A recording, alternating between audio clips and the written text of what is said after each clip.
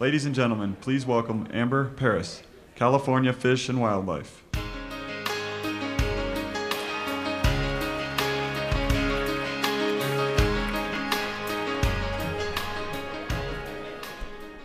Good morning, everyone. It is amazing to be able to be here and welcome you to the inaugural National Adaptation Forum.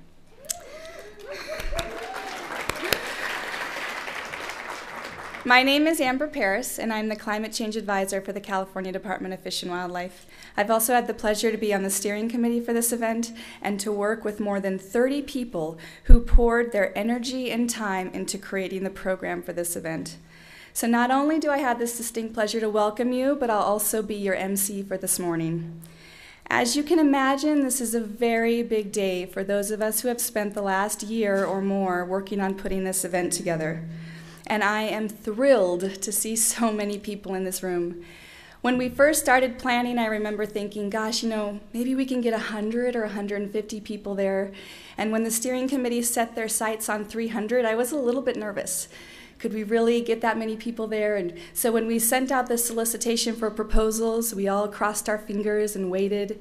And as the date got closer, the numbers were low, and we were worried that we weren't going to be able to fill a program. So we extended the deadline. We were biting our nails, waiting, watching, and then days before the submission closed, we received hundreds the floodgates opened and there were hundreds of proposals. So I really want to acknowledge the people who were on the program committee and especially those who served on the think tank with me for the hundreds of hours that they spent reviewing and ranking proposals, for crafting the program that you have with you for the next three days, and for working on the ideas for all of these plenaries. They really deserve an extra um, thank you for all the volunteer time they put in.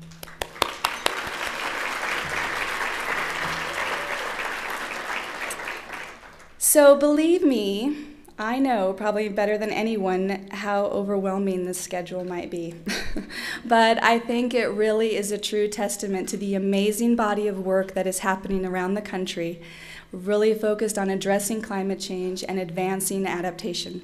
So I hope that you'll think about that as you're running around, and I hope you all brought your tennis shoes. Um, so, for all of my worries about not being able to fill a program or not being able to fill this room, we stand here today with 500 people registered and a waiting list of people who had hoped to attend. We have on the program 59 symposiums, 26 working groups, and 12 trainings. So, this really has become the event of the year.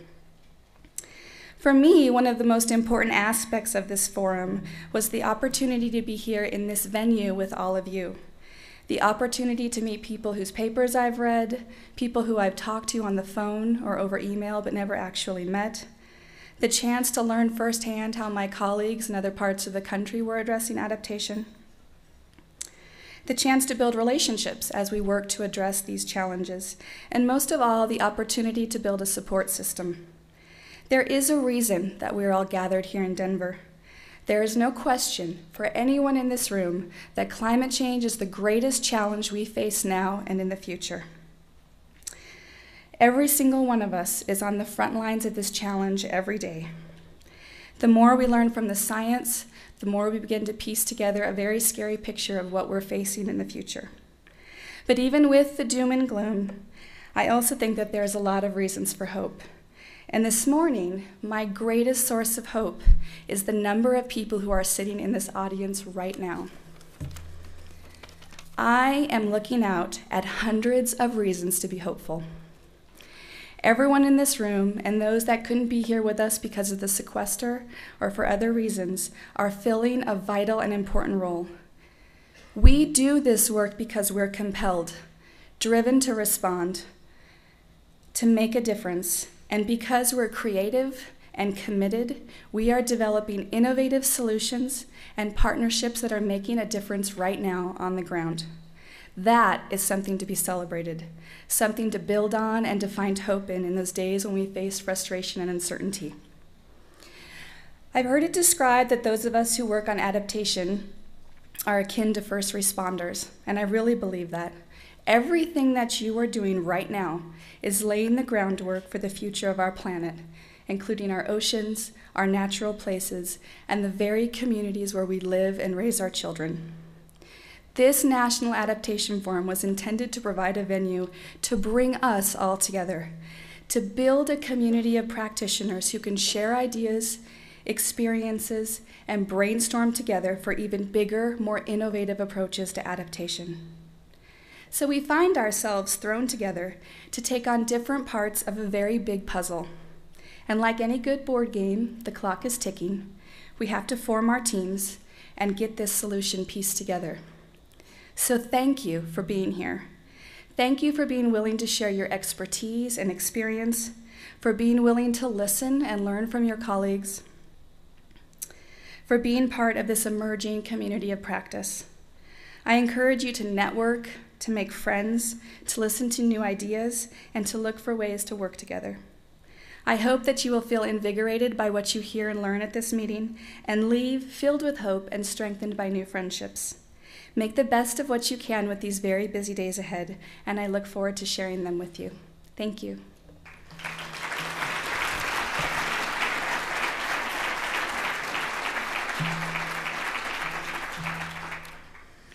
Um, even though he wasn't able to be with us here today, California's Secretary for Natural Resources, John Laird, felt it important enough to film a very short video message for all of you, and it's an honor for me to be able to introduce this video.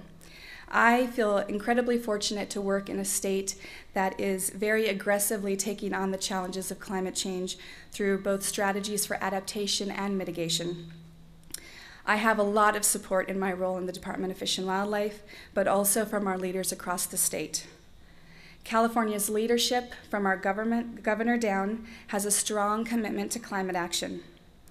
In California, we are working on an unprecedented update effort to numerous plans and programs that will institutionalize climate change into every major policy decision made at the administrative level. And we are working through multi state agreements and with our federal and international partners to develop an alignment in those policies and priorities. in California, we really see this forum as an important first step to achieving that higher level of coordination that puts us on a path towards success. There are many eyes watching this event and the emerging ideas and actions that will result from this meeting. So with that, I am pleased to share this video from Secretary John Laird and reiterate California's commitment to addressing climate change and to working with all of you as we face these challenges together. Hello, and welcome to the inaugural Adaptation Forum. Uh, my name is John Laird. I'm Secretary of Resources in California. I wish I could be there today, but I can't be. But this is important enough to me and to the state of California and the people we work with that I want to welcome you. And I also want to emphasize what an important issue this is. Uh, in California, uh, the Resources Agency is responsible for adaptation and the state's response. We've done a number of things. We have CalAdapt online as a tool. Uh, we have done guidance uh, related to energy interruption and guidance related to sea level rise and a whole host of things to try to provide tools uh, for our local agencies and our people across the state to respond to adaptation. I think the real issue is, is that just as Al Gore, uh, with regard to climate change emissions and greenhouse gases, educated people across the country and led them to take individual steps, we haven't quite had that same leadership in adaptation. Uh, yes, Hurricane Katrina and Superstorm Sandy have been case studies of what happens in different places and what are the impacts. Uh, in California, we have similar ocean based issues. That is where uh, the big focus has been and where people see that adaptation is an issue. Uh, we've done independent science in California for the Ocean Protection Council that shows that our sea level rise uh, would be 14 inches at mid range in 2050 and five and a half feet at mid range in 2100. That means for anybody along the California coast, we have to look at siting houses. Uh, many airports in the San Francisco Bay Area would well be underwater by the end of the century. Uh, sewer treatment plants and water systems that are gravity flow and sea level jurisdictions will have big issues to deal with. And there's a fundamental issue of what do we decide to do now that gets us ready for then. Additionally, uh, while we have in the oceans in California uh, overfishing and the first large network of marine protected areas, and we have stormwater runoff, acidification, which is the result of greenhouse gases, is one of the biggest impacts on ocean health. So that all these things are tied together. And we also have uh, the highest mountain in the 48 continental states. And as a result, uh, wildlife paths, uh, how different uh, things respond as the climate changes and different altitudes on plants and trees uh, are at issue. We have to educate the public. We have to educate local governments, and we have to tar- start to take the difficult steps to make sure that we are ready for the changing uh, climate. So that's why what you're working on is so important. That's why this inaugural gathering is so important. That's why many of us that can't be there will be looking to you to see what you come up with, what you highlight, and how together we can take the next steps to protect the people we represent and the people across the country. Uh, thank you for your work and best wishes for a successful conference.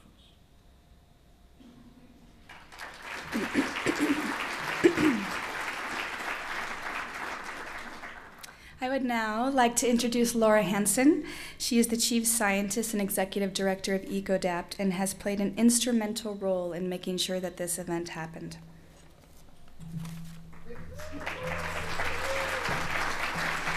Good morning. I actually can't see all of you because there's this crazy bank of lights, but I can hear that there are people there. Um, last night, Patty Glick said, Is this like a family reunion or a high school reunion? And I pondered that and thought, wow, I don't know if I really want to relive either one of those experiences. So I started thinking that really what I wanted last night to be like was like when you got dropped off by the bus at summer camp. And the rest of this week, I want you all to learn how to swim better, learn how to make a lanyard, learn how to ride a horse. I want you to learn and exchange things and teach each other the songs that you sing at home around the campfire. So let's make it summer camp. Let's not make it that crazy family reunion where you get stuck sitting next to your uncle. So I am here on behalf of the steering committee to give the Academy Award thank you address. And it wasn't until I started writing down all the people the steering committee has to thank that I went, wow.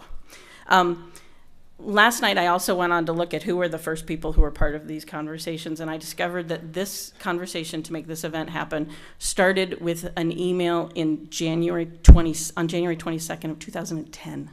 So uh, it's been a long, long trip, but you all found your way.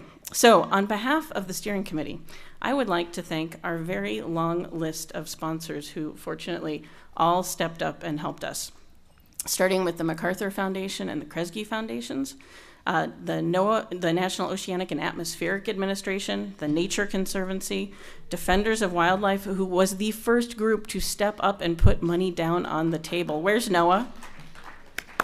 NOAA, stand up wherever you are. You're very tall. People will see you. Um, and everyone else from NWF, excellent, from, from Defenders. And the next person on our list is the Wilberforce Foundation. Do we have Liz in the room? Um, we, uh, EcoAdapt gave some money because after Defenders did, we had to. Um, the GEOS Institute, uh, who also led the sponsorship committee. The American Society for Adaptation Professionals, for those of you who have not yet heard of it, you will soon, um, and the Institute for Sustainable Communities, which is currently housing that. Um, the Betsy and Jesse Fink Foundation, um, the University of Arizona Institute of the Environment, and we have a number of people who are also acting as exhibitors, um, including a lot of the people on that list, um, but also including um, Stratus Consulting, uh, the Georgetown Climate Center, and the Association of Climate Change Officers. And I realized I forgot the Wildlife Conservation Society. And the Switzer Foundation came in as a last minute supporter yesterday. So go Switzer. Um, Lots of those groups also gave money to support travel grants. We gave away over 100 travel grants to get people here. When Amber said we were hoping 100 people would come, we knew we could get 100 people here because we could pay for that many people to come. but then all these other people came too. So, uh, the, again, the MacArthur Foundation, the Kresge Foundation, um, the Fink Foundation, um, and a consortium of federal agencies that came together particularly to make sure that we had good tribal representation here, which was fantastic. Um, then there's all the people who didn't donate money but donated their time. Amber already talked about the wonderful program committee we had that she headed up, um, which had to go through an unbelievable number of submissions. Uh, the names of all of those people can be found in your program. Um, additionally, we had the steering committee, which were seven stalwart people from seven different organizations who participated in phone calls and making decisions like, what city should we do this in? Um, uh, we had a sponsorship committee of four brave souls who raised all the funds. When we do this in 2015, a few more of you could join that. Um, and then we have all the volunteers. Um, I believe they're listed in the program as the committee of the volunteered. Um, these are people who generally their organizations made them volunteer. Um, but they all stepped up and did tremendous work, um, including uh, two people I'd particularly like to recognize Gail Peak of NOAA, um, who sadly is not here today because of the, a victim of the sequester, um, but she really helped. Uh, organize the, the contracts with everyone that that happened with, um, and Margaret Davidson was kind enough to share her with this effort. Um, and then for my own staff, is Wendy Kay in the room? Wendy Kay, where are you? She's probably out at the front desk. Um, did, so, did someone say she's here? Okay. Uh, if anyone sees Wendy Kay from EcoAdapt, give her a hug. Yesterday was her birthday, so we can't embarrass her by singing happy birthday because she's not in the room. Um, but she really, she, along with the folks at Ask, um, especially Leslie, really made all of this happen. Um, then there are all the people who are volunteering at the event here today who are doing great work, and we appreciate the time and effort that they're putting into this. Um, and then I want to thank my team at EcoAdapt who uh, let me sign on the dotted line when we had to get a contract together to have this happen.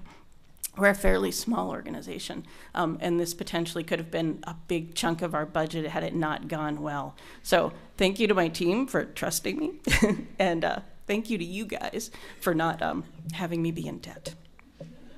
Um, so the demographics of this are super exciting. As Amber said, we exceeded our numeric presentations by a long shot. Um, but we also managed to get people from 44 states here. We have um, two U.S. territories represented and three Canadian provinces because national could be anybody. Um, and we have a pretty good representation of folks from different groups. 34% of you are from government, despite the sequester trying to stop you. 36% um, are from NGOs. Um, 16% are from universities but aren't students. Uh, 7% are students, and 7% are from private enterprise. Um, uh, personally, I also need to thank Barry Gold of the Moore Foundation. Um, the Moore Foundation and Barry sort of spurred the ability for this to happen by giving us a small seed grant to spend some time doing it. Um, and he gave us a lot of support in past events that he had done that were similar. Sadly, no one from the Moore Foundation is here, but thanks to them. Finally, you guys are all tremendous. You are what I now refer to as the adaptation vanguard. You are the people, as Amber was saying, who are starting to think about how we become, how we are the first responders. But what you guys do is going to be common practice, standard practice, gold standard practice in years to come. So go forth and be the vanguard of the adaptation revolution, as it were, not the investment banking company. So, uh, one final word Make sure you have an adaptation bingo card.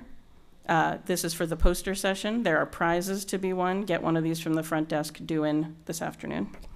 Um, and with that, I am going to uh, welcome the next speaker. Um, we are honored to be in the city of Denver. It was partially selected because it is centrally located in the United States, which reduces the carbon footprint for everybody getting here. Um, it also has an airport that makes it so that everyone can get here pretty easily. But it's also a city and a state that have been thinking, a city and in a state where people have been thinking about adaptation for quite some time. There's been actually a lot of work on climate change, uh, both mitigation and adaptation in this region. Um, and we are lucky enough today to have someone from the mayor's office uh, to welcome us to the city. Um, I would like to have Jerry uh, come up. Uh, did I say that right? Tinianow. It's so complicated yet so simple.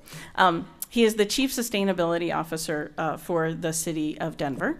Um, and I would like him to come up now and share some of the things that this city has been doing to sort of kick us off on the path to all the great stuff that people are doing all around the country and all of you.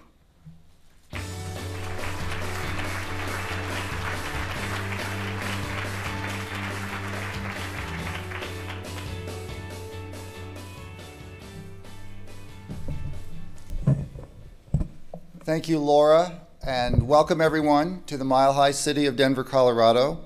Uh, I'm Jerry Tinianow, Chief Sustainability uh, Officer of Denver.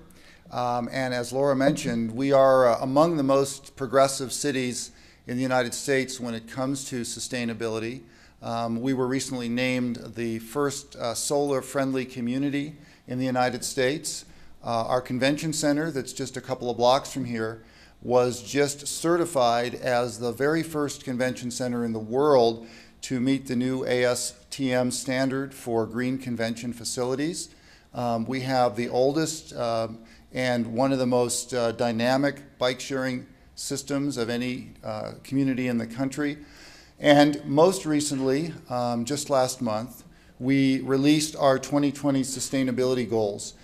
Uh, this is uh, a set of goals that uh, are among the most uh, comprehensive and ambitious uh, of any goals uh, in the country. Um, and they are organized among 12 resource groups, some of which would not surprise you. They're things like energy and clean air and clean water.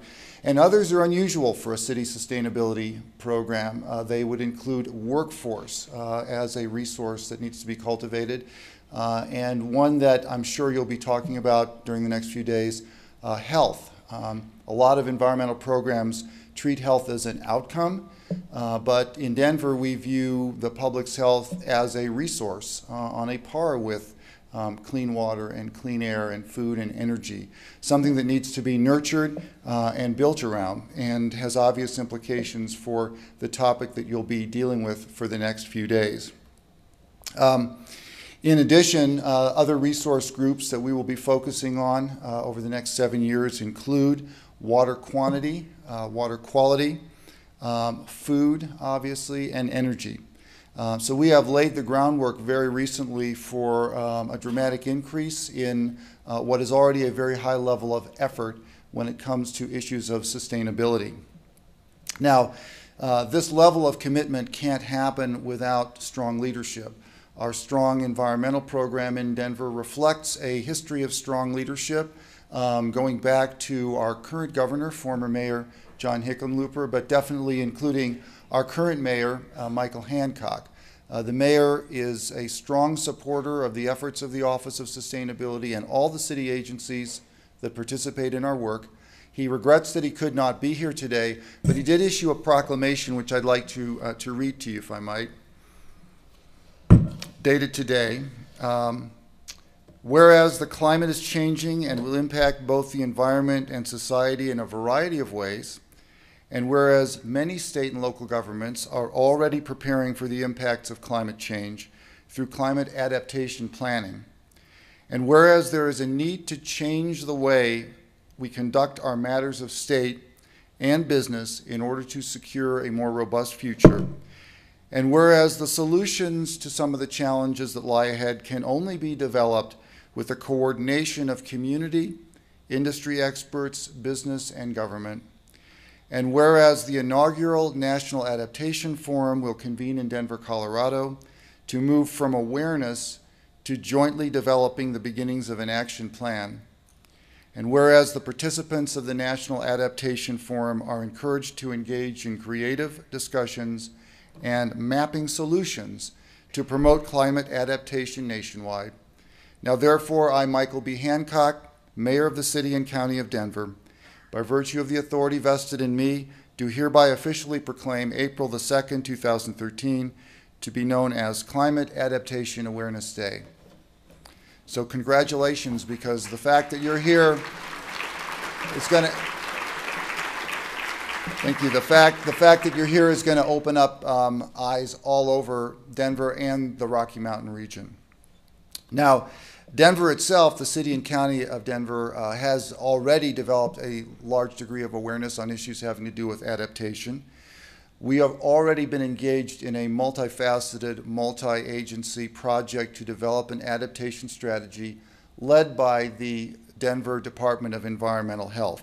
And the mayor recently signed uh, an executive order uh, committing us to release our adaptation plan this summer. So within the next few months, you should see a very progressive adaptation plan released by the city and county of Denver.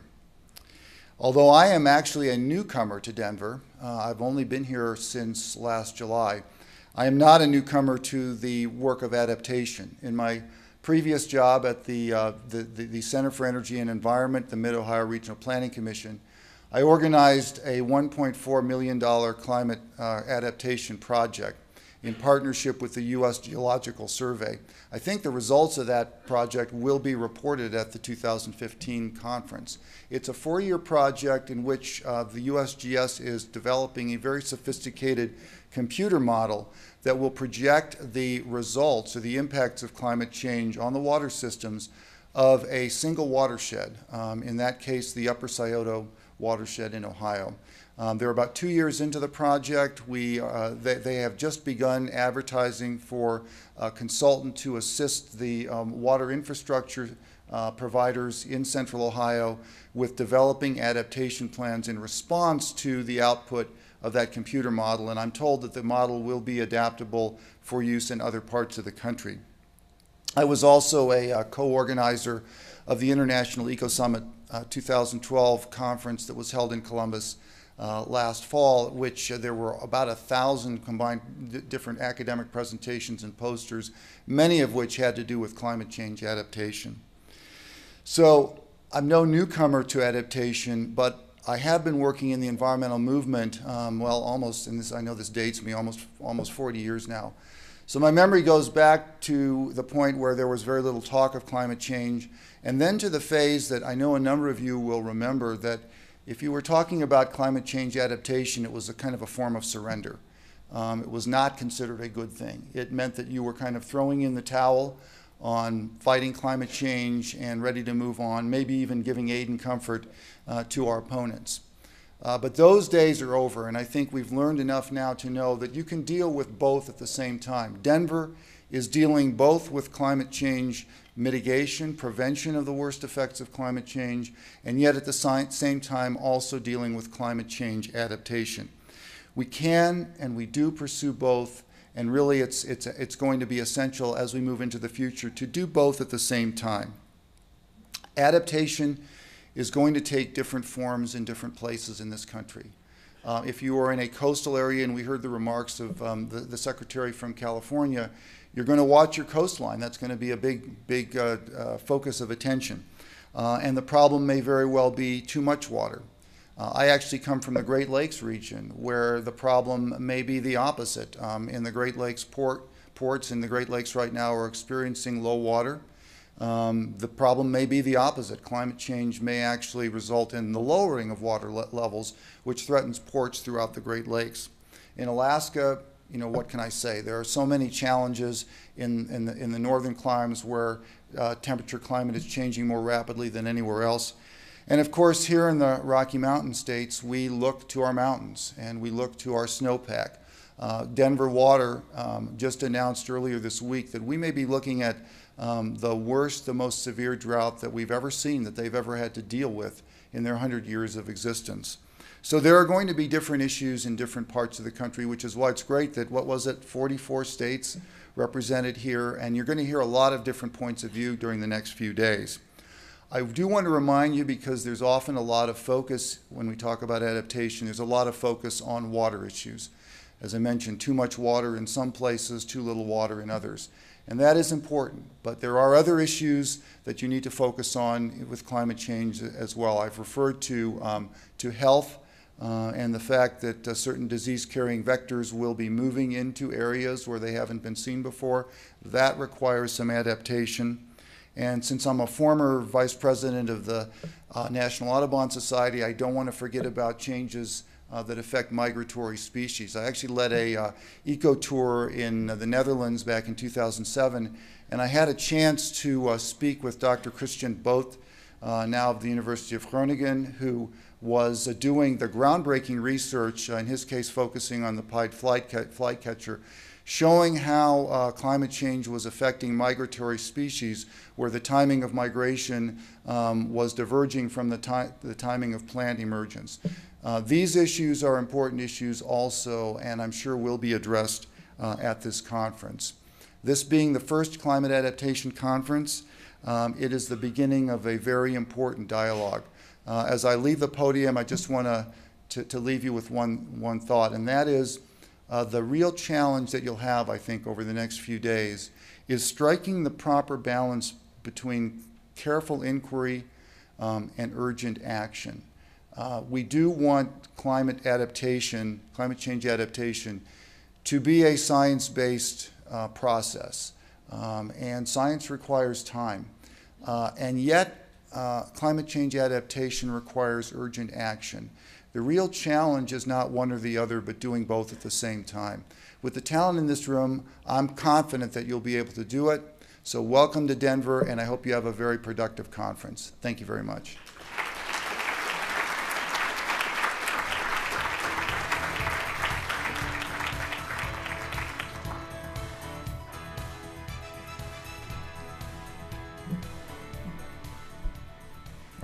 Thank you very much, Mr. Tinianow. Did I say it right? and to the mayor and to the city and county of Denver for that awesome proclamation.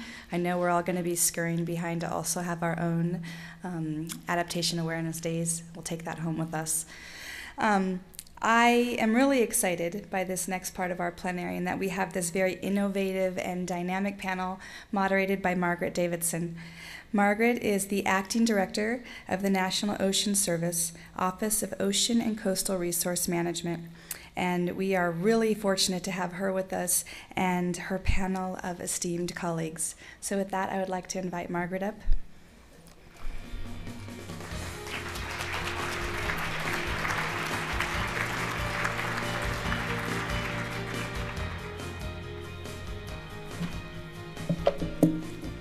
Good morning. As the panel of esteemed colleagues find their seats, I, I, want to tell you just a little something about them. They're going to be introducing themselves. Uh, but even though every one of them has had some experience with public service, uh, many of them have actually moved on to a meaningful and rewarding life. Uh, outside of the public service, uh, we strove for both geographic and sector uh, diversity, and I think we got uh, mainly there. Uh, so, first of all, um, let me extend my welcome to everyone. This is really very exciting. Uh, and of course, to my colleagues up here, thank you very much for being willing to participate in this experience. So, this panel is going to be modeled after the McLaughlin Group. Uh, for those of you who don't know what that means, it means that this is actually uh, pretty much unscripted, unrehearsed, and everyone is uh, was invited. In fact, because I thought that they would bring their own uh, analysis and their own insights, and uh, uh, there is not a shy one on this panel. Uh, and per the McLaughlin Group uh, policy, we defend the right of individuals to express unpopular views. Intellectual honesty and argument merit are the touchstones. So, uh, it is also Poetry Month. So, in honor of Poetry Month, I have asked each of uh, my colleagues to introduce themselves. Uh, with a small haiku. So let, let me show you how this works. From southern swamplands, lessons from disasters past, I face climate change.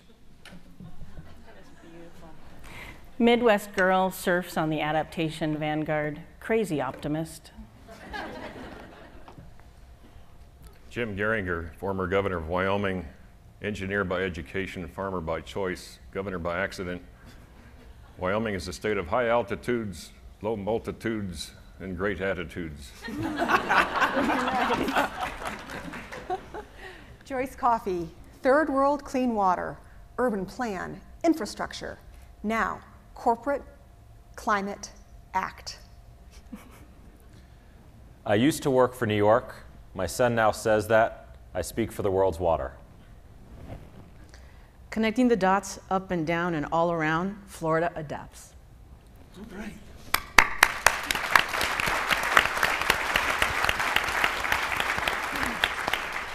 So the way this is going to work, we're going to spend about uh, 20 minutes, 25 minutes with ourselves, having a little discussion up here. I have a little roster of uh, questions uh, in case it gets a little slow. Uh, and then we're going to open it up for your participation as well. There'll be several people with roaming mics. So if, if you hear something, uh, if you have an insight that you want to share, most especially, we're most interested, all of us, I think, in how we move the ball down the field, right? How do we make this all happen? So, Laura, tell me, are there any great examples? This is actually for all of you. Uh, any great examples where you've seen climate change considered and integrated into comprehensive community planning? And what was the driver? That's for each and every one of you to start. I want to start with the person who's still a public servant. Okay, we'll start with the person who's still in public service, who, uh, although shifted from Miami Dade to Fort Lauderdale. So She wanted to get closer to the sea. someday I'll, I'll grow up and, and be like Margaret and the rest of the folks here on the panel. Um, I, I actually do have a very uh, good example of, of that, and it's uh, in my home county now, Broward County. Um, they've just recently gone through a process where they've added a climate change element into their comprehensive plan, uh, and, uh, land use plan amendments, and um, they've added uh, priority planning areas. And that's all recent, really within the last month that it's uh, occurred. And uh, quite frankly, it happened because of leadership. Um, Broward County has been a leader in, in the region, and the leadership of, of now Mayor Jacobs and um, the, the, the force that she's been able to carry. So um, to me, the, the, the, the thing is leadership. Um, you know, I, I think New York City is a, a good example through PlaNYC, which was the city sustainability plan, launched in 2007, updated in 2011, um, included climate change adaptation and resilience. Uh, throughout the document, a number of efforts, including uh, watershed management with uh, investment of $1.5 billion in watershed conservation over 10 years, a $1.5 billion green infrastructure plan. So a lot of elements that are in there, I think, in the post-Sandy world, that 5, 10, 20-year agenda is now really been accelerated and happening uh, first in a report that will be out in May, so a five month exercise, and then a, a longer term agenda from that. And then I think many cities have taken actions. Philadelphia's uh, Green Waters uh, program, where they're really radically redesigning and thinking about how natural infrastructure interacts with the built environment and can build resilience. Uh, I think there are very few places you've seen it fully integrated into every planning decision and action, but there, I think there are some shining stars, uh, particularly in cities where it's occurring. And I think it's appropriate for this Chicago um, example to follow New York City. The reason why we included adaptation in the Chicago Climate Action Plan, which I led um, before moving to the private sector, was because we thought it would be one way to distinguish our plan from other unique cities who were really making tracks in the climate action space. Toronto also had an amazing adaptation plan, but no one had called it out as one of like their top five priorities. So Chicago decided to do so also in part because it was a way for the mayor to celebrate a lot of the initiatives he'd done that were environmental, but didn't have a lot of mitigative um, benefit, greenhouse gas mitigative benefits. So things around tree plantings, green roofs, um, and all the green infrastructure work.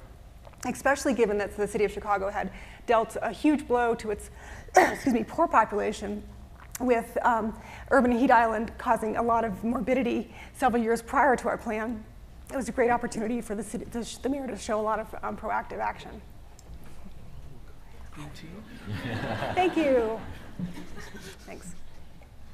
Well, the, some of the solutions can take place in our own home, our own community, but I'll talk at first about uh, a regional solution. The Western Governors Association, for a number of years, has established a record of working together with a lot of diversity, both in, for instance, California is the largest, most populous state, Wyoming is the least populous state, five people per square mile. New Jersey, eat your hearts out. the idea being that uh, if you can not only personalize but regionalize something, you learn the bigger picture. And so, starting with things like the principles for environmental management that were developed uh, by the Western governors, led by Mike Leavitt of Utah, Governor Kitzhaber of Oregon, now returning. Some people don't give up, do they? Uh, who's here from Oregon? Good. Yeah, I, I, really enjoy working with uh, John Kitzhaber. Th those principles of environmental management recognize the full range of activity. We didn't call it climate change or greenhouse gas, we just called it reacting to situations. So that led to uh, one of the integrated efforts that we've done of late, including NOAA. That's the National Integrated Drought Information System, which we hatched as a group of governors. Uh, a resolution passed in 2004 from the Western Governors Association. I was asked to go testify to both the House and Senate committees on incorporating that into a, a budget authorization, and it's up again for reauthorization. But I wanted to call into attention that when it comes to adaptation, adaptation usually says that's because you weren't able to prevent something from happening. So planning and prediction, even when prevention is not an option. What NIDIS, the uh, acronym for National Integrated Drought Information System, did and is doing is giving us the ability to manage within risk. Uh, you can't eliminate uncertainty. That's the number one thing you'd like to do. But putting boundaries on risk and then manage coming up with a change plan to manage within those risks. So for somebody in agriculture, if it's going to be a drought, you change the types of crops you plant. If you're in livestock, you change your patterns of grazing. Uh, if you're in city water planning, you anticipate, as Denver has done, what might occur with not only this year's drought, but extended drought. Those are the kinds of things that we need more modeling, more Earth observation, and more regionalization as well as personalization. I think that Adam is uh, completely correct in that there aren't a lot of good examples of where it's fully integrated, um, whether it's urban planning or whether it's natural resource planning, or heaven forbid we do them together. Um, but I think that one of the things that's true in all of these examples and in all of the other examples that are out there is that there's almost always someone who is the champion and has sufficient political will to really make it happen. And that political will can be just within an agency, it can be within an office, it could be within what you do every day. But there always has to be that champion, that person who makes that identification of this is a problem that needs to be corrected, or else in the future things are going to be much worse. So, so Joyce, uh, since you love public service, you now actually advise the private sector. Mm-hmm. Uh, we were in a good chat about that earlier this morning. Uh, so, so the bottom line issue: Can we actually implement adaptation strategies that that not only take advantage of what we know about things like sustainability or, or enhancing uh, ecosystem services, but that don't break the bank? I mean, that your customers must be most interested in that. Yeah, definitely. And I think actually that climate adaptation isn't about breaking the bank, it's about making a buck.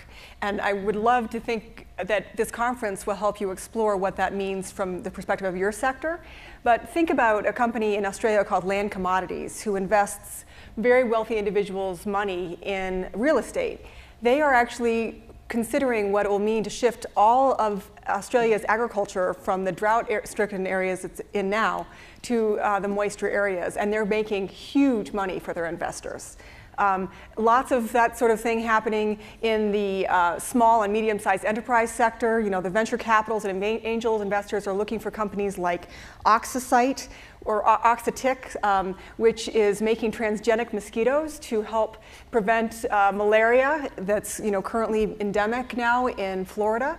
And it's sort of the 23andMe of the adaptation world, right? How do you make um, new, uh, new initiatives out of what we know around the genetics of the plants and animals that are both affected both positively and negatively by um, climate change. So I think the, the question might be turned a little bit to what are the opportunities for the corporate sector to um, really exploit a, a new um, arena. And I know I say the word exploit in this, in this environment um, at great risk, but I do so to provoke us to think about this in new ways. I mean, when you ask the question of the Clean Air Act, most of us in this room who consider ourselves environmentalists talk about the number of people who have been saved due to the advances that the Clean Air Act required.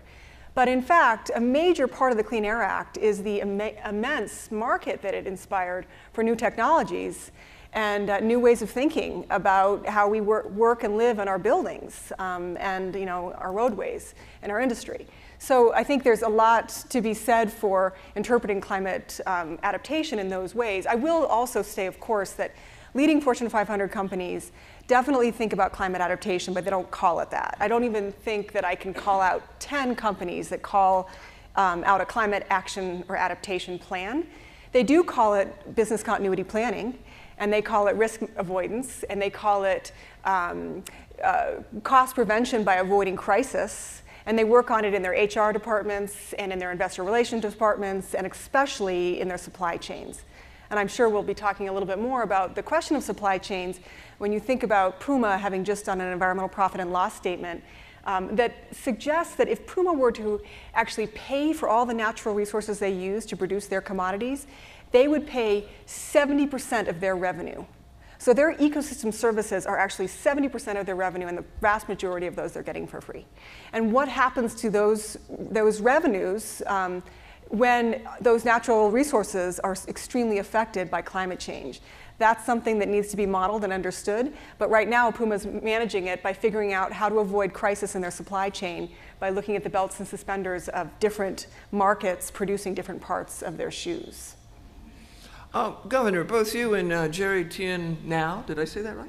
Close, close enough. anyway, you and our colleague from Denver talked about uh, a, a, whole range of other uh, sticky issues that we had uh, water quality, you talked about uh, animal husbandry, uh, public health, hazard mitigation. Um, have we seen a, a, growing ability to actually map uh, climate adaptation into how we approach some of these older, stickier problems that seem to persist with us? Well, the answer is yes. Uh, I, I, go back to a comment I think it was Jerry that made. I think you made reference to our foes or something like that. Did you use that term?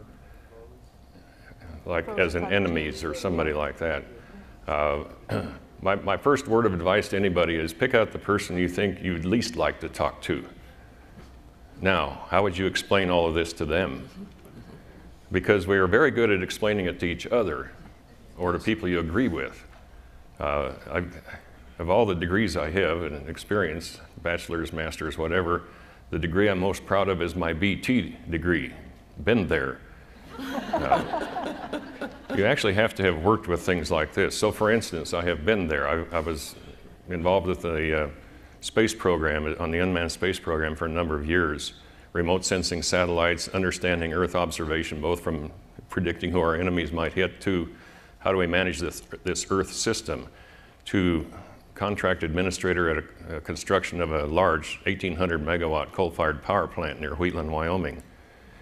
And I learned a lot about the industries like we have in Wyoming, the fossil ones coal, gas, oil, but we also have nuclear, wind, hydro, uh, bio.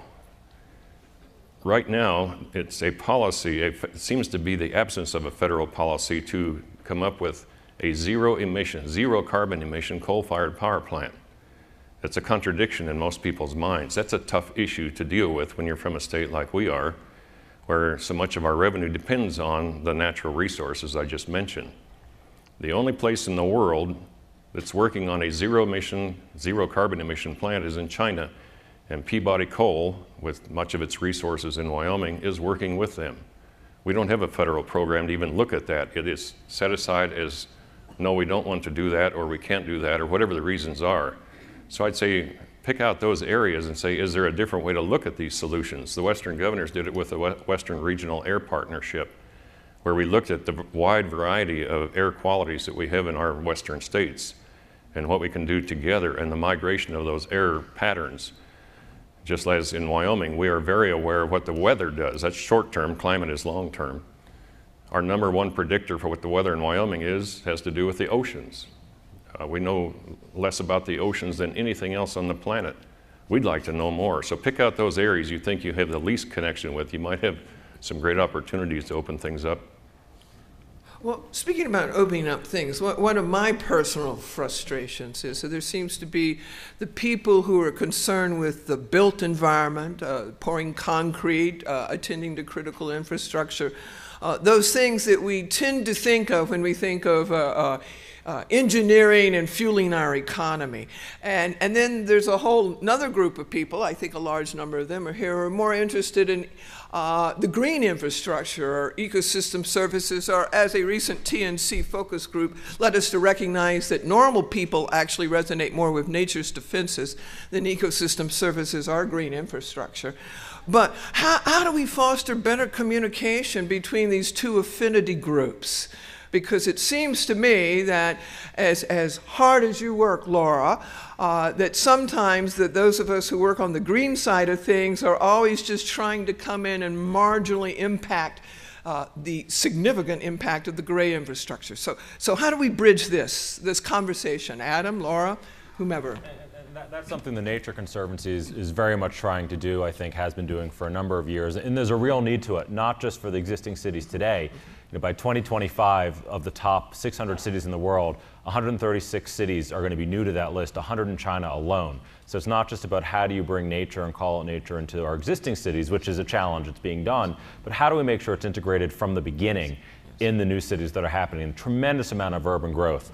Um, and, and there's a real need to do it, not just because uh, it has a number of co-benefits, but when Joyce was talking about saving a buck, you know, natural infrastructure often can de- decrease costs. New York City is investing $1.5 billion in watershed conservation, not just because they believe in nature, but because it prevents and is able to avoid an 8 to $10 billion wastewater treatment plant the $1.5 billion investment in green infrastructure to help with stormwater management has the equivalent value of $2.2 billion in traditional gray infrastructure. Philadelphia is estimating they're saving about $8 billion for their $2 billion green infrastructure program. So, you know, I think there's a lot of work that needs to be done to make people understand that it's not two diametrically opposed forces. You don't have cities in nature.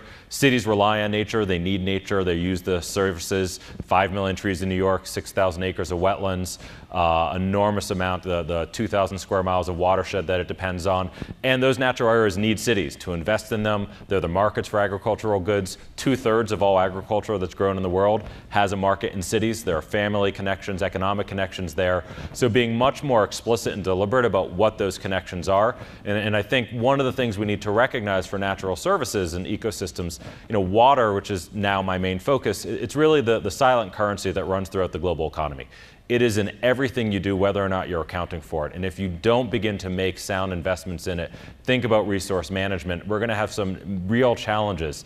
Uh, I think it's about a two to three billion dollar cost or percent decrease in China's GDP that's attributed to water pollution.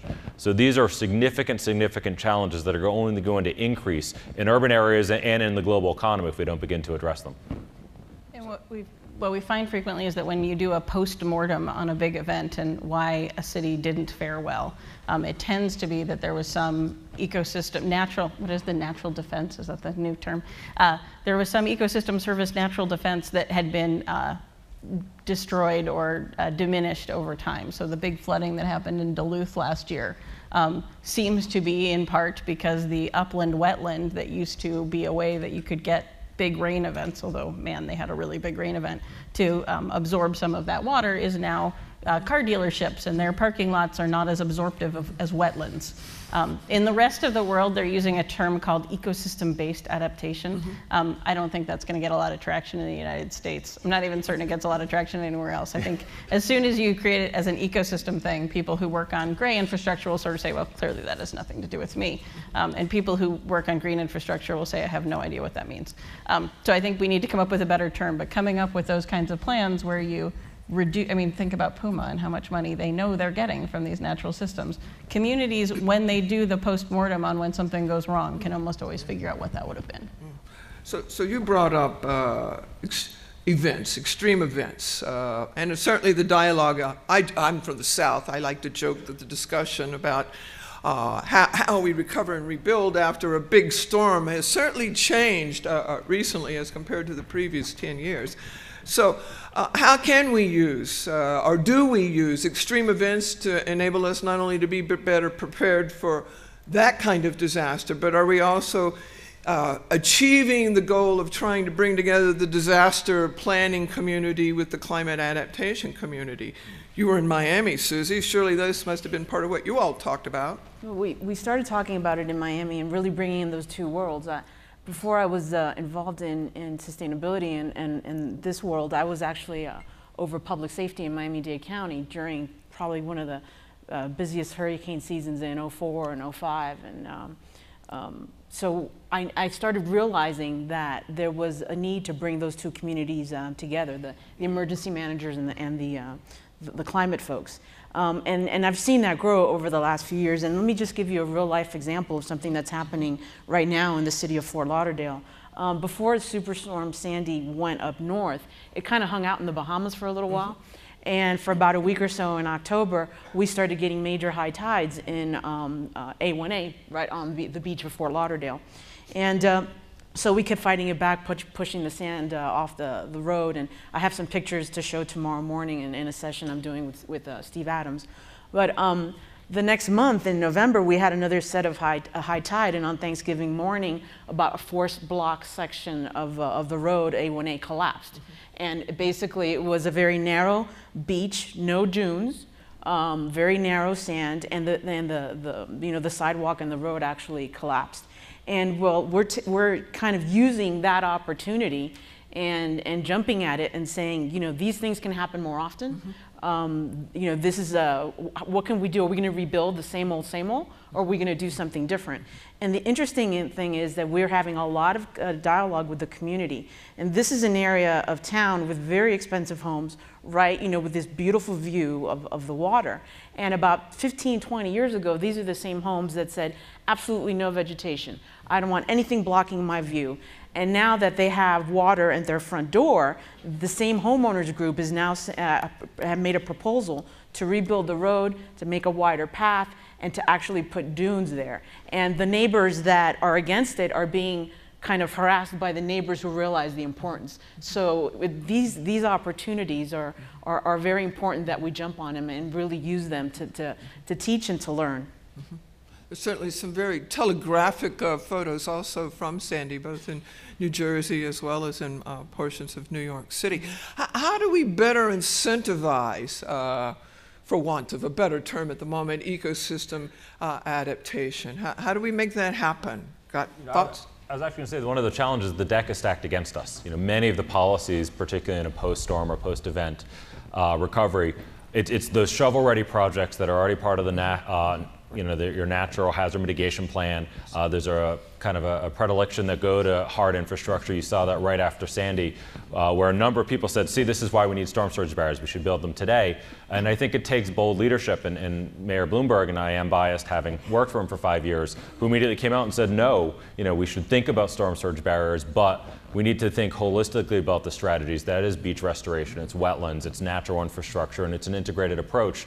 Now you're beginning to see that where Governor Cuomo has proposed using part of a CDBG uh, grant funding for bio programs where you can actually try to incentivize. And I think this gets at the question of how do we rebuild smarter and use these as learning opportunities to say we're not just going to go in and rebuild, which many of our federal programs not only enable but encourage you to do and rebuild in kind of what was lost, but saying there are some places we shouldn't be living. And there are some things that we need to do there, and how do we utilize resources that we have in a flexible, creative way to do that?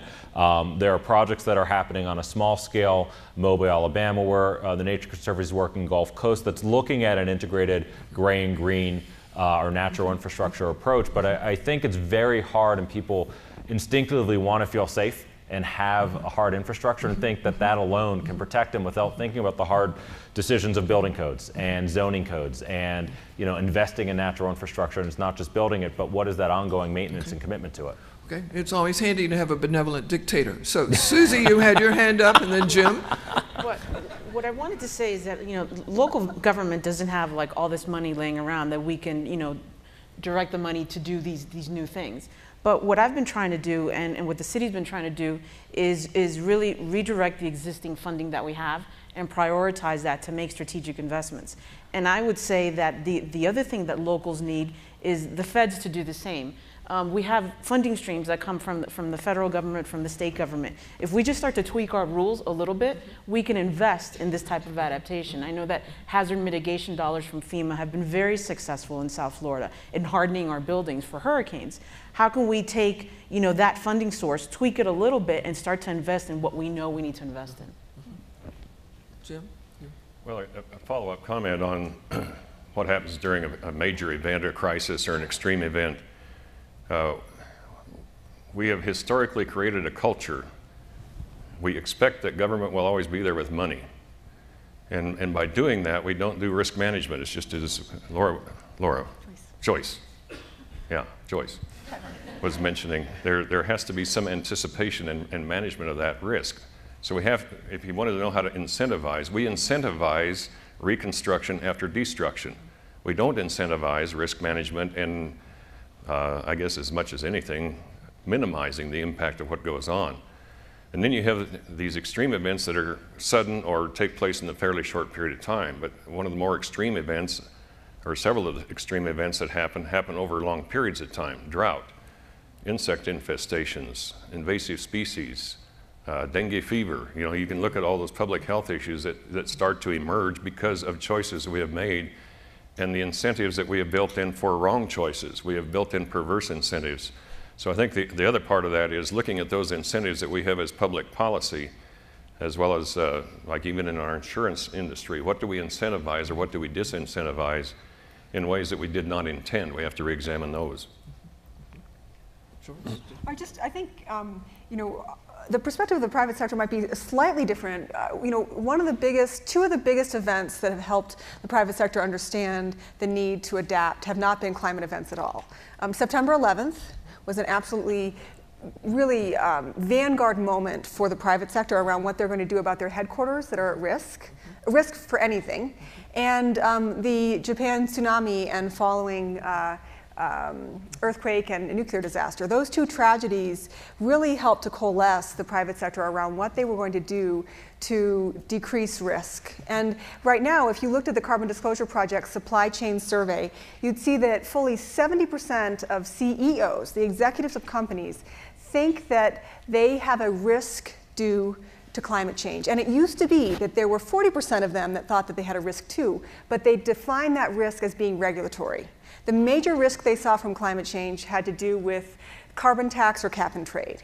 Now they think that that risk is a physical risk. So 70% of the executives surveyed by the Carbon Disclosure Project think that there is a major physical risk to them due to climate change, and they're learning lessons from these other catastrophes, climate or not, in terms of what they're going to do about it, how they're going to handle their headquarters in a major megalopoli, how they're going to handle their supply chains, um, you know, in uh, primarily archipelago or very coastal nations.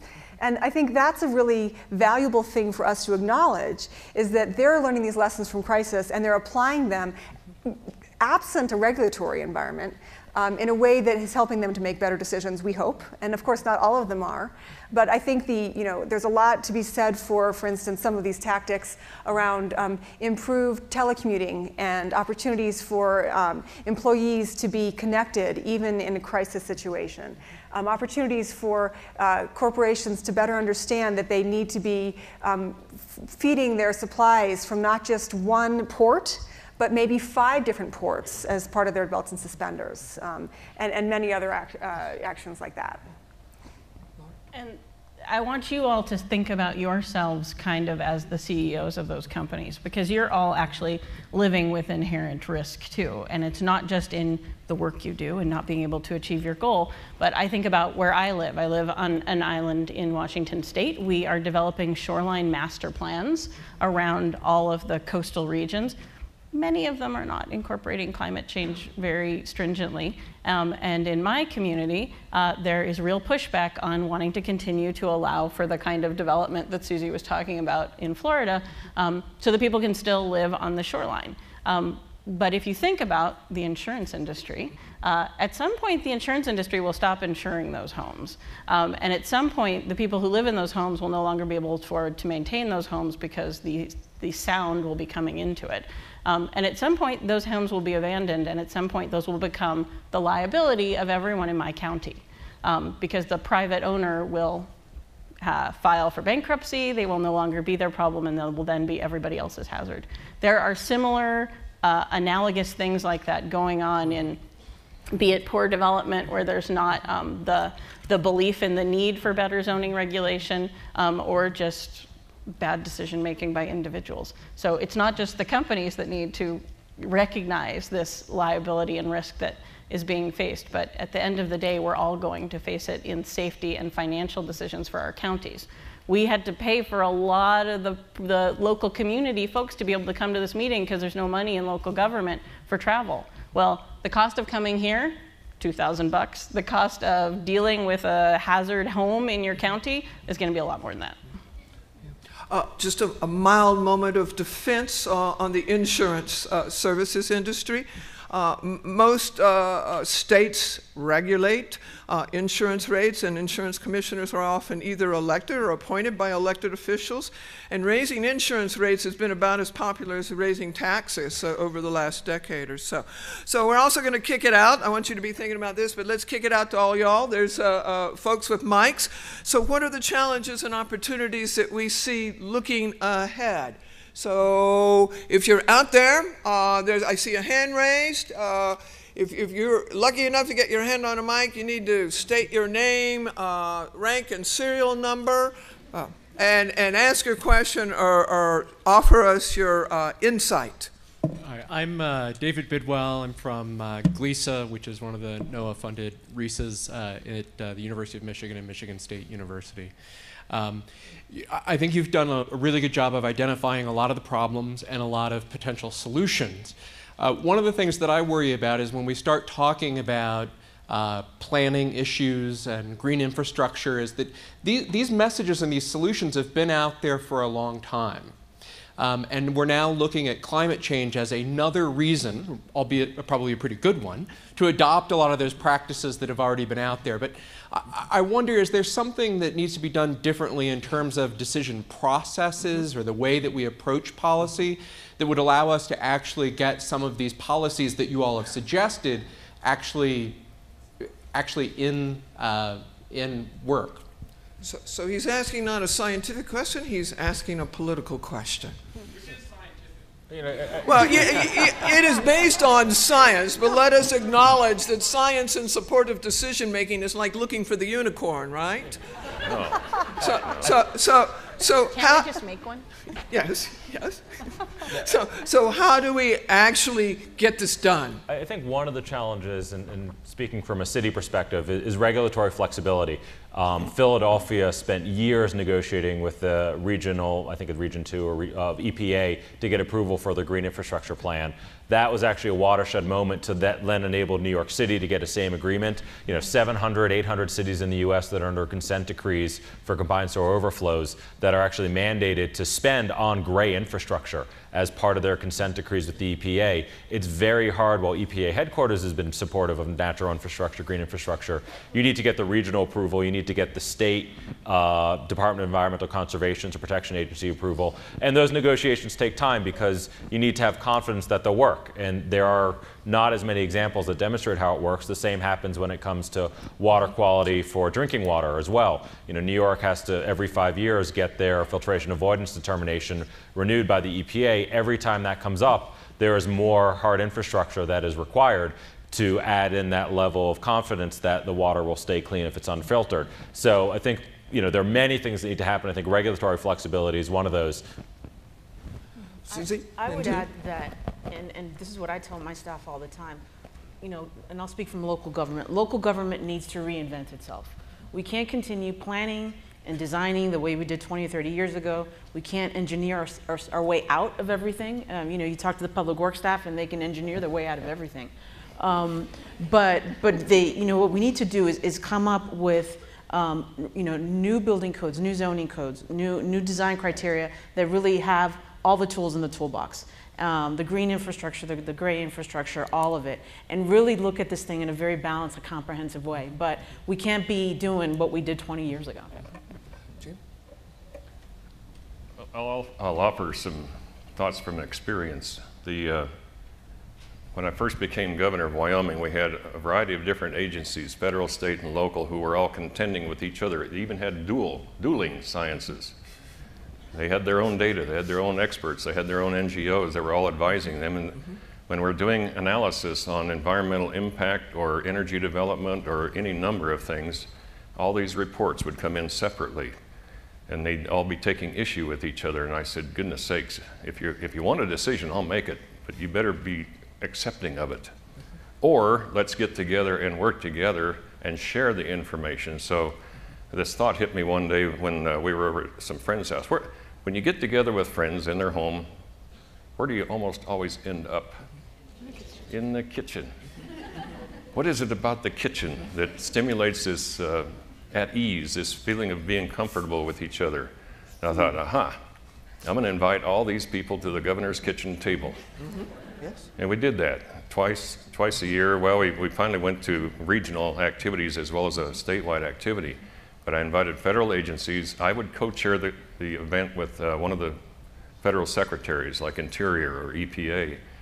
And we would talk about an issue that was statewide, but along the way we would talk to each other about how we arrived at this place. They became comfortable with each other. I said the first thing we're going to agree to is data. What data is most important to resolve this issue? Now, how can we display this data? How can we analyze it? I discovered something called GIS, which is why I work now for Esri. But the, uh, the idea of being able to put things on a common map so you can see what's going on, you can see the interaction of things, and people can see in each other there's, uh, there's inherent value. That kitchen table concept became one of the best problem solvers that we had. Well, the simple event was someone was a convener Everybody in this room could be a convener of some kind. Well, you have a difficult issue to deal with, and, and I've worked any number of times with local government. I've had to mediate all kinds of things where I was the one in the middle getting the brickbats. But when you convene, people finally start to see each other's value. And a community is people who band together for a common purpose. This, these aren't the people in my neighborhood who we have to overcome, we have to do something to them. Mm-hmm. No, the idea is to do something with them. Regulation should only be to place boundaries, not to dictate the, the, uh, the methodology for getting there. So be a convener. Every one of you could do that. So, so Jim, that's actually based on science. Uh, when you go to handle a, a, a, nasty hive of bees, you smoke them because the smoke uh, uh, stimulates their pheromones and they gorge. And when they gorge, when they feed, uh, they become mellower and easier to handle. Uh, often, when I'm dealing with the person I'd least like to talk to, I try to do it uh, over a lunch because I find that the conversation is different when you break bread with someone who's on the opposite side of the table from you. I'm so happy you clarified that because when you started talking about blowing smoke at somebody and gorging them, I'm so, thinking, so, moderator's prerogative. I, am not going to tell you about this draft executive order uh, because I got smacked down uh, recently for talking about it at a national conference of cities, the fact that there was this draft executive order circulating inside DC, uh, focused on how do we make infrastructure more resilient. So, so the question becomes the, the discussion that's going on inside Fedlandia is all that money that we spend to fund or underwrite public infrastructure, should we actually require that it be hazard and climate resilient? So there's a couple of versions kicking around. One, what I call the chicken little, no, chicken something else version, uh, which says that we only apply the standard to buildings that feds are building themselves, which is a good thing. We should be modeling good behavior, and we don't always do this. Now, I personally think we have to get not only to the point where public money spent on public infrastructure should in fact be hazard and climate resilient. But I think we need to really be working more closely with the uh, business and development community to change their thought processes about the preferred sites, for instance. Uh, like in Mobile, Alabama, when they looked at uh, not only the flood maps, but uh, the potential flood risk, they changed their mind about the preferred site for the new steel mill, and they shifted it from inside the 10-year floodplain to the edges of the currently designated 100-year floodplain. Now, it wasn't my idea about resilience going into the process with them, but that sure is resilience. So I also had this fantasy that we might actually come up with some kind of fund like the Harbor Trust Fund or the Highway Trust Fund or the Airways Trust Fund, Airport Trust Fund. We all actually pay these kinds of things to these kinds of funds, and some of them actually get spent on these kinds of projects, but we actually need one for our kind of stuff. Yes? Well, a, a, a, bit of advice for Fedlandia. Yes. Uh, has anybody ever driven across Interstate 80 on, in Wyoming during the winter? Yes. Oh, all these moans. Before Interstate 80 was built, there was the, whole, the Lincoln Highway, Highway 30. The feds decided that they knew a better way to route Interstate 80 when it was being built. And the locals, and my, my message is talk to the locals, talk to the people who are in the community, on the land, the sportsmen, the, the uh, agricultural people, or the, the, people who've been there, the BT. They built that interstate highway in the worst possible place. They're spending a million dollars a mile on snow fence. We call them cow bleachers, you know. The, the idea being, before you engage in some federal infrastructure project, be sure that you've consulted with the people who understand that area. That, that will go a long way toward making better use of things. And when it comes to climate, that involves both the people who know the historic pattern as well as the people who are thinking about what the future might look Right, like. Right, you have to see both ends. The been there and the will be there. So, so, so we'll be there, yeah. And I haven't seen any more hands from the audience, so if you do have them, put them up. Uh, how do we actually tell the story that shifts the planning horizon? I mean, I've seen that be another challenge at the local level. Uh, and let me also say, I was discussing with a, a, a colleague last night that at least in coastal areas, there's something that we could actually do that doesn't even require legislation. We could just change the generally accepted accounting principles. I'll test this out on Joyce. Change the generally accepted accounting principles, which now amortize the building, but don't amortize the land because the presumption is the land will always be there. I'm thinking in the coastal areas, uh, high hazard coastal areas, maybe we should work with the professional accounting uh, societies to change the generally accepted accounting principles so that we can amortize those lands that we know are going to disappear in the next 30 to 50 years. What do you think about that, Joyce? I think that's awesome. Actually, one of my clients is working on, they're a big four accounting firm, and they see anyone here who's in public service as a huge um, area of opportunity for their business growth because there is not a lot of accounting that adds dollar value to the work that all of you do. And, uh, you know, if you're going to make the bridge between been there and will be there, you definitely have to have someone who's going to help change that language from ecosystem services to cost avoidance and cost benefit. And I also think it's in- interesting you mentioned the investors because from my perspective, um, I have high, high hopes that investors looking to mitigate risk in their portfolio are going to see climate adaptation as a major area of strength for the portfolios that they're investing in. I think Calvert Investment has done some really interesting research on that, and that more and more, both the you know infrastructure, or I'm sorry, the investor houses that we invest in, as well as individual investors that really matter, are trending in that direction. Great. And at seven and a half minutes, we have time for about three questions from the audience. Yes, my name is Thomas Ruppert with Florida Sea Grant, and I wanted to take the conversation back to uh, insurance where it was earlier, but this time maybe not private insurance. And I was in honor of Poetry Month. Let's see if I can do my question somewhat as a haiku here. All right. Flooding problems now. National flood insurance. How to use changes. Yes. I was discussing with Adam uh, a little bit uh, this morning that uh, we're going to actually see. For those of you who aren't aware, there were actually some significant reforms to the national flood insurance that got tagged onto the big transportation bill in July. And a lot of coastal communities are just now realizing that Oh, I live at five and a half feet. Every one of you who's been subsidizing my great view and the 19 species I counted on the Audubon weekend, uh, thank you very much. Uh, but you'll happy to know that your contribution will be declining uh, to my view shed. So, but uh, right here, anybody want to comment about uh, these flood reforms? Florida, New York, where we're going to actually learn about it really quick. Yeah, yeah. Uh, New, York has uh, new advisory base flood elevation maps that will be coming out. Um, this is a process that was part of PlaNYC, started well before Sandy was even uh, brewing in the Bahamas and parking off of uh, Florida. Uh, it was in the 2007 plan. It was one of the focal points of the 2011 plan. And I think it's a real underestimation of risk. New York City's flood maps last substantially updated in 1980s. Uh, there's been about an inch a decade of sea level rise uh, since then from local land subsidence.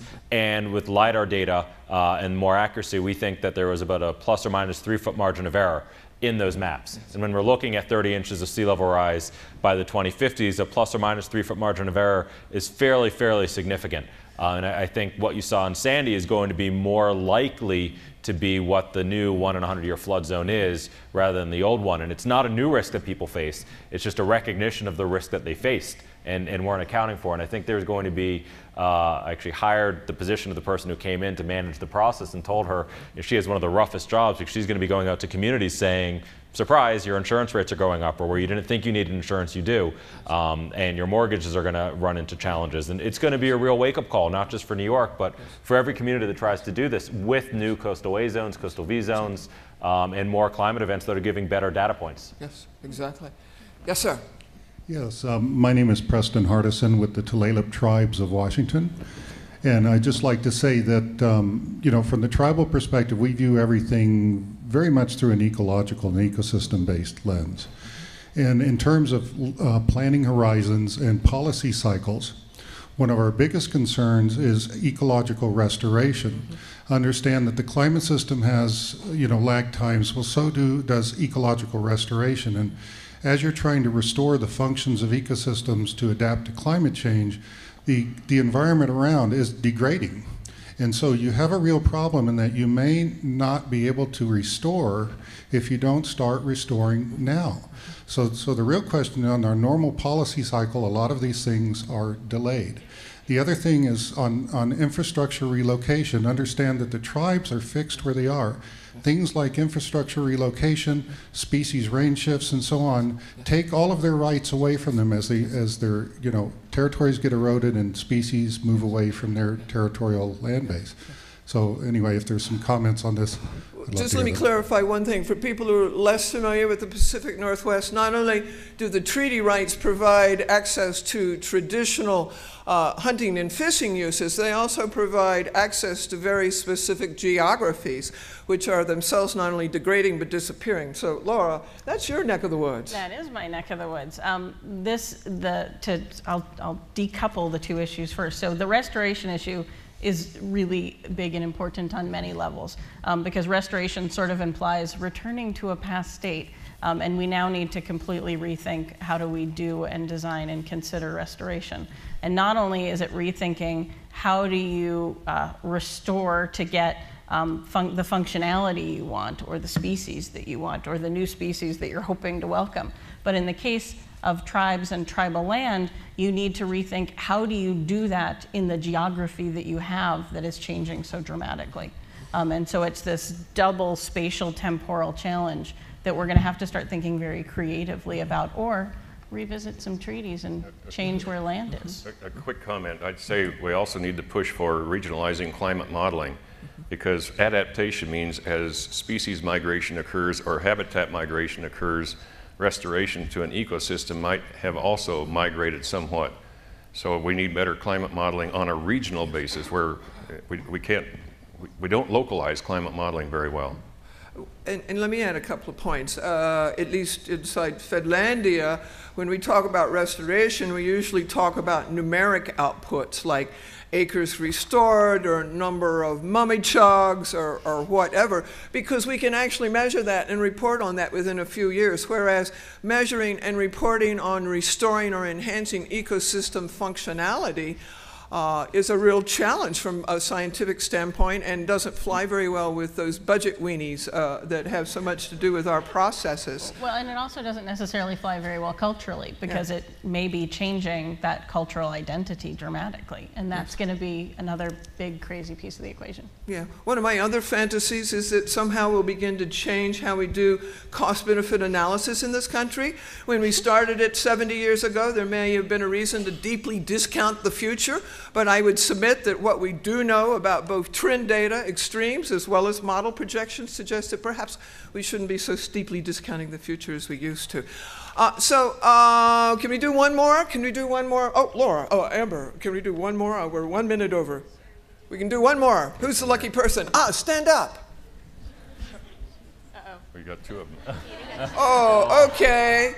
I'm going to be Solomon-esque. Okay, we'll do two quick ones. Okay, can you be quick? Okay, you go okay. first and then you go second. Okay, um, I'm Carolyn Enquist. I'm with the National Phenology Network and the Wildlife Society. And this is great to see this gathering. Thanks, Laura and colleagues, for putting this great um, uh, forum together. Um, you know, we've been hearing a lot about uh, engagement amongst NGOs, governments, et cetera, and, and you know, and cross sectors, and I think that's, that's really exciting. Um, but a lot of what happens in those sectors tends to be, you know, often reactionary. I'm, you know, hearing that again, stuff happens, action happens as a result of some pretty major things. And what I feel like we haven't discussed much is, um, you know, how do we engage the public on this issue a little better? We all know we have an issue of public perception, and so how do we kind of um, get, you know, kind of outside this group more engaged um, with the public. And, um, you know, I'm thinking about kind of the Yale's sort of mm-hmm. six Americas. Yes. And so, you know, what sorts of strategies might we use to bring the public more into this conversation? And um, does that include things like um, citizen science, for example? Um, or are there other ideas out there to involving K through gray effectively um, in this discussion? Uh, I would actually have to say D, all, all of the above. Uh, one of the things that I've observed in recent years is that a lot of us spend a lot of time talking within our affinity groups. Uh, and we know from Homer, that, that Greek guy, that actually the way that you move people's views it isn't through expert advice. And increasingly in this country, we also realize it isn't through scientific uh, data. It is actually through dealing with trusted sources. And, and I often joke, and this is an appropriate meeting, so each of us knows a troglodyte in our family, in our neighborhood, in our church, mosque, or synagogue. And each one of us should adopt one and engage with one and teach one, because that's only how the conversation will actually spread. I have a sister in Fort Worth. She's my model uh, for, for trying to move the needle. And I think we sh- if each and every one of us just picked out one troglodyte that we know uh, that, that likes us, maybe it might be that uncle you're sitting next to at the family reunion, I, I think that we could start that ripple in a pond effect. So, one of the things I've been doing in the last couple of years is doing less meetings with people like you and more meetings with people who are totally unlike you, uh, because I, I think that's part of broadening the conversation. So, this person here. Hi, I'm Deborah Javeline, and I'm from the University of Notre Dame. And I was wondering if you could just talk a little bit about adaptation laggards. And I ask this question with full appreciation and celebration for the adaptation leaders and for all the great progress that's being made in different places. Um, and um, I realize that there's so there's always this temptation to say this is my case study and these are lessons learned. And um, I'm a social scientist, so I hope that doesn't get um, groans from, yes. for not being a real scientist. But the way that I think of social science is that we often learn the best lessons from the places where things don't work. So, for example, yes. if we have studies of peace, then we obviously have to study war. We have to study the breakdown of peace and where it didn't work to understand peace building. Um, and that's just one of many analogies, but it would seem to me that, that um, as many lessons are to be learned from the places yes. where adaptation efforts are not working um, in order to say for sure that when we think we have lessons learned from the leaders that the, those are indeed leaders because those factors weren't present in the places where it didn't work. Sure. Well the scientific method is actually based on failure right? exactly. I was going to say as an ecologist another non-scientist um, we, it, one of the things that you do is you try and have control groups where perhaps no one's doing any adaptation and the experimental group where someone is trying something and you want to see whether you get a different response. So, did a community in uh, part of New York City fare better than a community on Long Island where they weren't doing all of the things that uh, Mayor Bloomberg has taken into account? And can you compare those two things? Granted, population density, blah, blah, blah. But you need to start answering those types of questions. And earlier, when I was talking about the post mortem of a place where something goes horribly wrong and identifying what could have been done, I think is the same type of thing. But starting to have more control groups, I think, is a great thing for us to embrace. So, so Laura, for the next forum, maybe we should do a plenary about splendid failures. Excellent. Okay? I'm sure the people who are responsible for early. those would love to come. Yeah, exactly. Uh, it'll be filled with former government officials. It'll be filled with former government officials, Adam said. So, so with that, I, I hope that we have provoked your, your minds and your hearts uh, and maybe even your voices.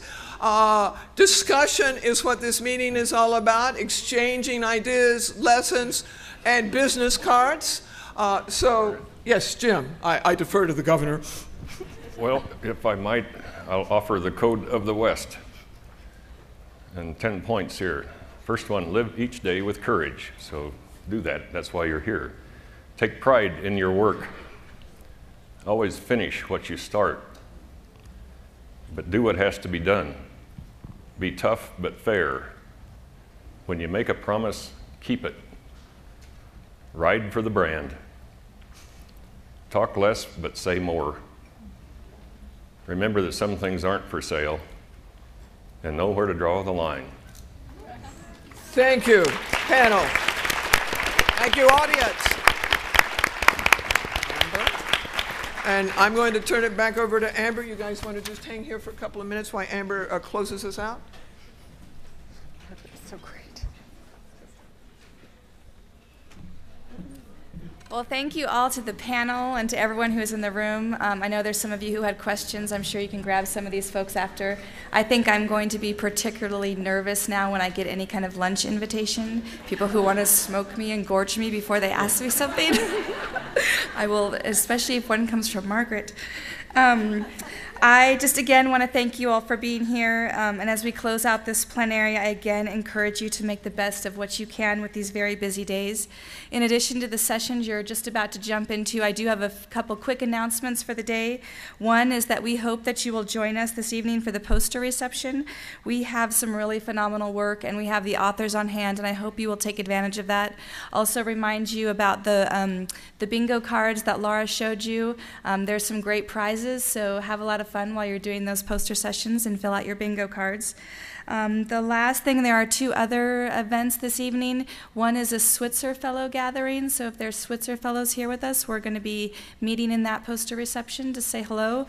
There's also a very special session tonight on the National Climate Assessment being held at 5:30, and I hope you guys will also um, check that out in this room. And again, sort of be mindful of this very packed schedule. There will be people who are planning to attend um, sessions over lunch. So, as they're going to need to be able to grab their lunch quickly and get to their room. So, if you're in line and you don't intend to go to a session, you might let some people squeeze in. But um, again, tighten up your tennies, get ready to exercise. We're here to run and learn and enjoy. And I hope you have a fabulous day. Thank you.